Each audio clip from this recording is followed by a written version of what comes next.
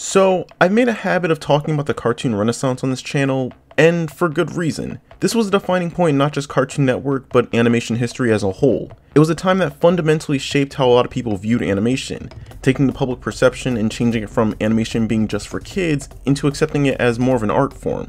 I'm saying all this because when people talk about the renaissance on Cartoon Network, they tend to forget the fact that while the first generation was in the middle of their airings, Cartoon Network was already working on who was going to take over the time slot once those shows had run their course. So let's talk about one that never got a chance. Hello everyone and welcome to the Void Theatre. As always, I'm your host Alexander. And like I've said, I've spent a fairly decent amount of time on this channel talking about both Cartoon Network and the Cartoon Renaissance. Honestly, more so than any reasonable person should. But on my defense, it's an interesting topic to talk about. This was a time when Cartoon Network, for lack of a better term, ran shit. They were the go-to for animation and technically still are. Shows like Adventure Time, Regular Show, and Gumball were as creative as they were financially lucrative. Seriously, there's like 5 Adventure Time console games. For as good as the show was, I will never understand how that happened. Point is, these shows made money. And a lot of it, which makes it all the less surprising that even before they were reaching their conclusions, Cartoon Network was working on their spiritual successors, and thus began the age of the Neo-Renaissance. Essentially, these were the shows being groomed to take over the time slots when the first generation of shows were nearing the half point of their lifespan. For Adventure Time, there was Steven Universe, regular show had We Bare Bears, so on and so forth. But then you get to Gumball, a show that didn't really have a successor and for plainly obvious reasons. Gumball was created around the midway point of the Golden Age, which meant that it had all the benefits of creative freedom and all the negatives of weird business practices. It would be cancelled, then uncancelled, there was a movie in the works, then there wasn't, then there was again. It was a mess, which also meant that Cartoon Network wasn't too focused on trying to find a replacement for us. But that doesn't mean there wasn't a pilot that could have served as a replacement had it been picked up for a series. Which finally brings us to the topic of the video, the pilot of Welcome to My Life, a show that I believe was meant to replace Gumball. Now I want to explain this before we go any further, I am in no way, shape, or form saying that Welcome to My Life was attempting to copy or plagiarize The Amazing World of Gumball. Both shows are widely different in tone and how they handle themselves. What I am saying, and what I'll explain later, is that Welcome to My Life fits perfectly into the style of show that Cartoon Network was looking to replace but I've prattled on long enough. So, without any further ado, let's raise the curtain, put this show on stage, and see how it plays out. Alright, so starting with the obvious thing, and you're going to notice this show bears more than a passing resemblance to Gumball. It has that same blend of real world settings mixed with 2D animation, and I like it. It fits the tone that this pilot was trying to make. For Gumball, the whole point of that style was to create this almost weird world where it looked like anything and everything could and does exist, and with Welcome to My Life, it feels like it's meant to give us a fish out of water vibe to it. Speaking of, let's talk about the pilot, which is a fish out of water story. The pilot follows Doug Takeshi or Tkesh Ito, and if that last name sounds familiar, that's because it should. This pilot was created by Elizabeth Ito, one of the major storyboard directors for Adventure Time. And while I will get into all the more business related details later, it feels important just to let that be known. But like I said, later. Anyway, the main plot follows Doug Takeshi or Tkesh Ito, a Japanese monster living in a world of humans.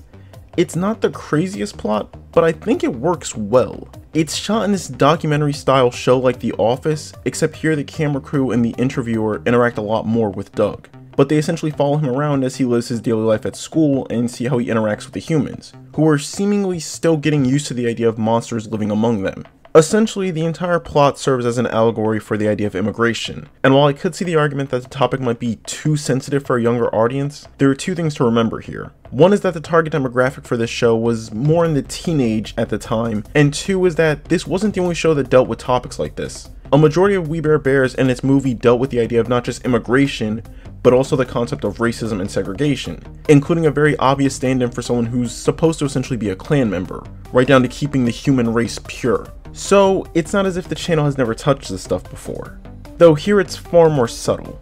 But the show follows Doug as he goes through his daily life in school and lets him talk about all the complications that come with being a monster in a world for humans, including his size, trying to fit in with the humans, and generally just being accepted at school. But the climax of the pilot is when Tkesh makes a joke about another guy looking like him, which because this is school leads to the guy wanting to fight him afterwards. Which Okay, I guess. Not sure how smart it is to fight a creature that's a foot taller than you and can breathe fire, but school rules. Someone makes fun of you, so you gotta fight them. But I do want to take a minute here and talk about the animation. because while I did talk about it briefly, it was only broad strokes, but I really love how expressive Doug is in this scene. Despite being a monster and not having a lot of detail in his face, his expression is so clear and it shows how much pain he's in. And like he said, he didn't mean for it to be an insult because he doesn't see his looks as being insulting. And the animation captures how he feels perfectly.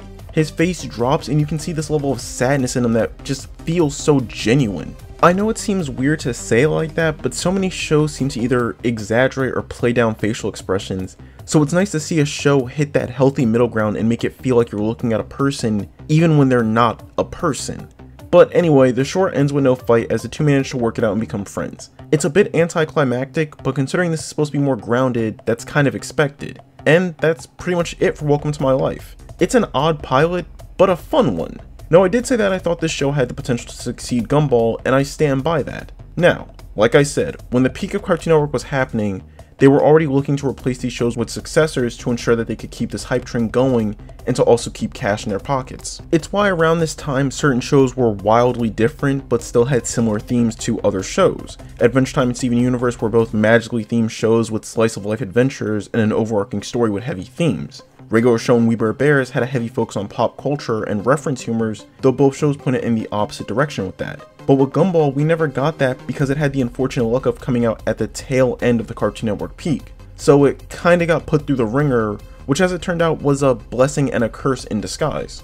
On one hand, being at the very end meant every time a season ended, it was also a fight to make sure the show didn't end up cancelled. But on the other hand, it was able to get a lot more attention simply because it was one of the only cartoons on the channel that didn't have this weird hate base attached to it like Teen Titans Go.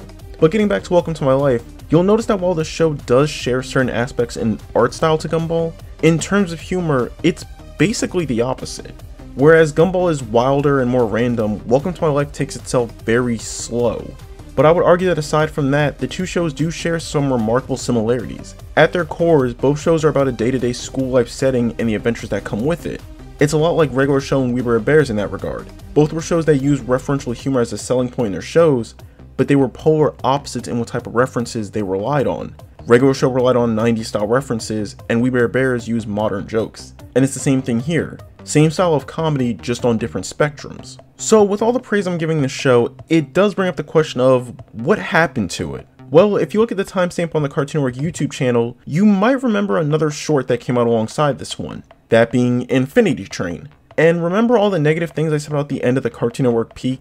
Well, this is one of them because Infinity Train is arguably the poster child for bad networking decisions from Cartoon Network and one of those decisions was to go back and forth on cartoons themselves. I've talked about these issues before in a previous video and I'll link that down below if you want to check it out, but essentially Cartoon Network tried to recreate the popularity of Adventure Time without realizing what helped make the show popular, which meant that shows and pilots that were getting strong followings were starting to get more and more ignored. Which isn't just me giving some high mighty praise to this pilot, According to Wikipedia, this short was only second place in terms of viewership on the official channel. The one in front of it? Infinity Train. Also I say Wikipedia because in all their infinite knowledge, Cartoon Network deleted the actual pilot from their channel. I assume to hide their shame at cancelling a fantastic show. But even ignoring that, it's not like the show was made by some unknown name in the industry. Not counting Elizabeth Ito's work on Adventure Time, the pilot also had voice work by Ian Jones-Quartey, who at the time was one of the major directors for Steven Universe and was working on a cartoon of his own with OKKO. So again, it's not like this pilot was made independently. It had some major ties to the channel as a whole with some serious backing in it. But in the end, the pilot was all we ever got with no mention of it ever being picked up for a series. Which honestly just feels like wasted potential. The show was definitely an odd concept, but I'd be lying if I said I was it wasn't extremely well done. And while I couldn't see it going as long as Gumball, I still think that it could have carved out its own fanbase on the channel.